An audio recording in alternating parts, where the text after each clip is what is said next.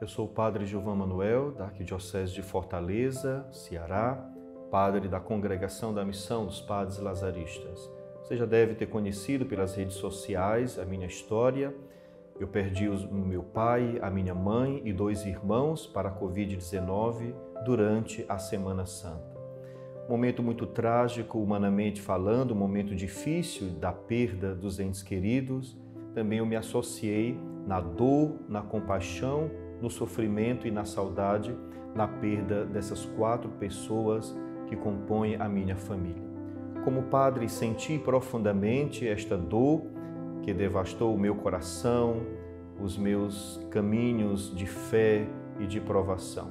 Por outro lado, me reanimou profundamente porque acredito no Cristo ressuscitado e quando também São Paulo vai nos dizer que nem a morte pode nos separar do amor de Cristo.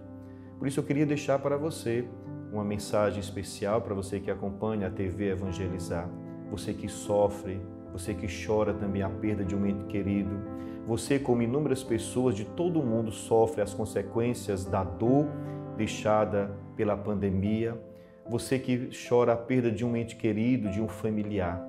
Confia no Senhor, busca no Cristo ressuscitado a força para superar esse momento difícil há um novo céu, há uma nova terra, que nós cremos perfeitamente que os nossos entes queridos participam também dessa glória.